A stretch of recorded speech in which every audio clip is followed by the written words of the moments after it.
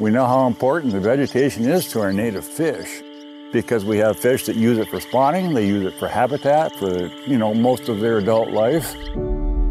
If the grass carp effectively reduced the amount of vegetation currently growing in shallow impounded areas in the Great Lakes and in the Bay of Quinte, and they destroyed that habitat, then our native fishes would be in big trouble. Big, big, big trouble. It would, it would destroy commercial fishery. My name is Kendall Dewey. I'm a fourth generation commercial fisherman and I live here in Prince Edward County. I fished with my father the last year that he fished. And the reason he had to quit fishing was because of an invasive species. I can remember going out with him on weekends and seeing the white fish come up in the nets and around the roller and there would still be sea lamprey attached to them. And if they didn't have sea lamprey, they'd have scars on them where the sea lamprey had been attached. That was an invasive species. That's what caused him to quit fishing. Commercial fishing in Ontario and in this country, period, is one of the oldest industries.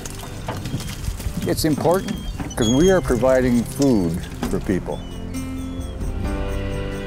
My wife and I have been partnered for probably more years than she would like to, to remember. And uh, in the last three or four years, we have had a new crew member join us at certain times of the year to help us out because we're getting old. okay. Steve's great, and his brother-in-law and himself asked us about selling one of our fisheries. So they bought that license, and this past summer, they caught a 47 and a half pound grass carp in one of their trap nets.